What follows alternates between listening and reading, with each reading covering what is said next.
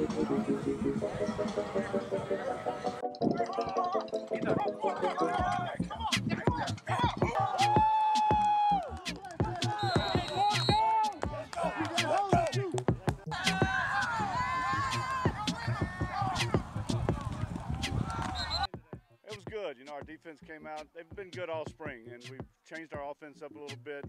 Went from a true flex bone type offense to a multiple. I'm still going to run some, a lot of option, but uh, a little bit ahead of uh, the offense, but we're going to get there.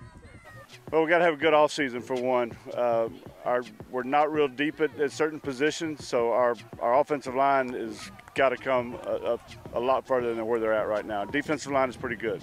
So we get into the season, we'll have a bunch of guys playing both ways, including the, the offensive and defensive linemen.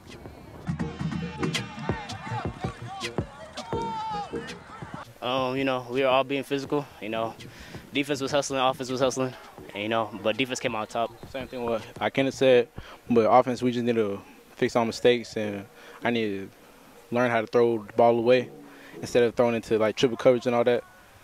But we get in there though. We get in there.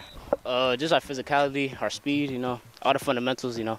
You know, we're a young team, so we're just trying to get all the young guys developed, you know, so we get ready for fall season. Um, we just need to like get stronger, faster, and uh, just work hard, and then we will get right where we need to be.